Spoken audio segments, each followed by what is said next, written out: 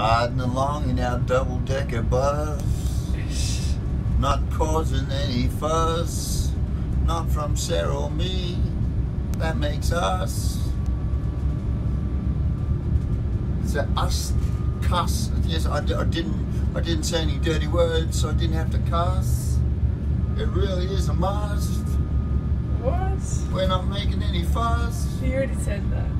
Uh, oh well, you'll have to trust me. Oh my god. I know. Gee, Sarah. I'm glad you love me. Okay. Bye, all.